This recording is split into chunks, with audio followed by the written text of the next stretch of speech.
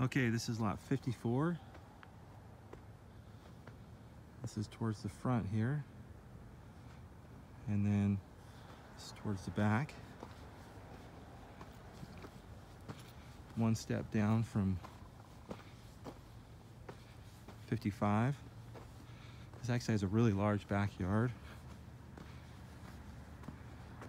Um, beautiful view of the desert wash area and beautiful view of the mesa all the way along there.